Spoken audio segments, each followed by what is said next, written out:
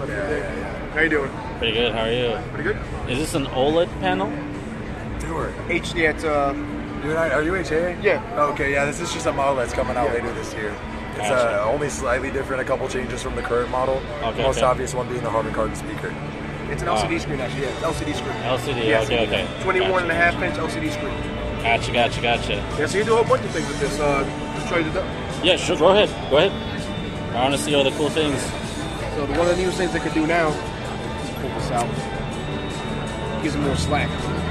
What you can do now through here. It's another uh, feature on the Note 8 it's called Live Message.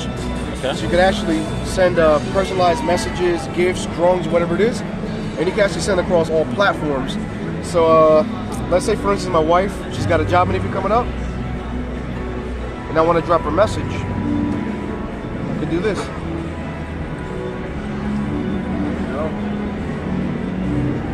You hit done. It's going to save that image for you, Okay. and then it's going to come up with a separate option for you to share that.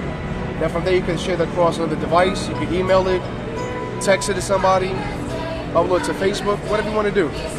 But in this situation, we actually want to share that with a device. So you click on share the device, choose refrigerator, click OK. And now what it's doing, it's actually uploading that uh, that note that I just wrote out, and it's posting that up on the front screen of the, of the family hub.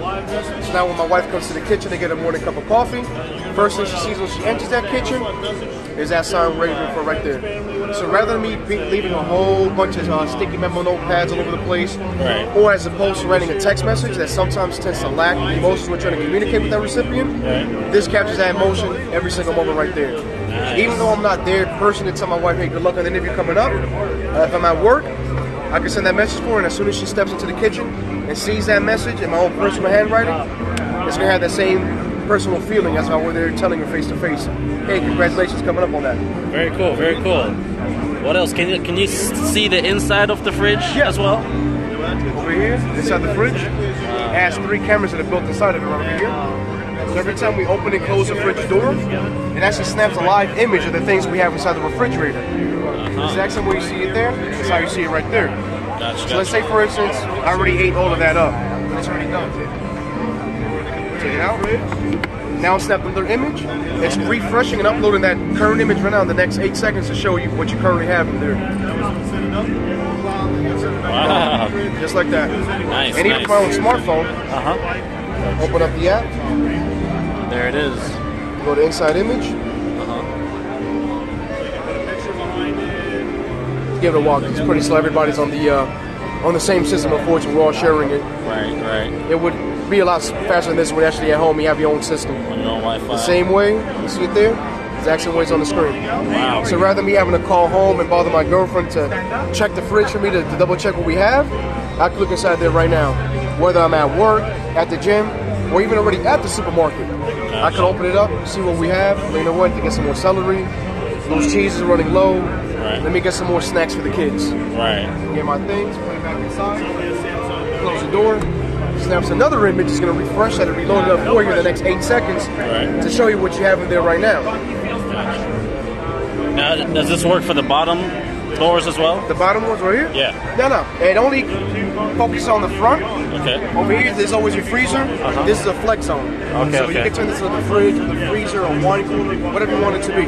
Wow. But the reason why we only have the cameras up top and not at the bottom, your freezer, things always stay preserved as they are. Right. You can locate things where they are and put it in there so you know where it's located at.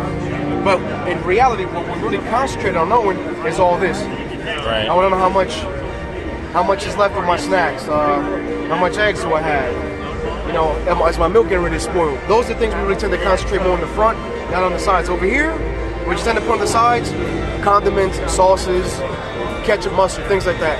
Gotcha. That's going to stay pretty well, uh, well, well fresh and preserved so long as the refrigerator stays cool. Gotcha. But gotcha. my kids' snacks, their yogurts, my fruits and vegetables, I want to know how much time is left in that before it expires. I want to be able to see that and know, okay, how much celery got left in here, how much fruits I got left up there, and I can look all that right from the front of it, right here in the front. Can you open the bottoms too? I want to just, just double check. Okay, so, So that's your flex zone, Okay. and this is always your freezer right here. Okay. Okay. Got it. Very cool. That's right. So if you find yourself running out of space in the fridge, Uh-huh. convert it to the fridge. If you find yourself running out of space in the freezer, you got the freezer right here, convert it to that. You got some friends that probably coming over and you got some wine, you want to throw a little wine party, turn into a wine cooler.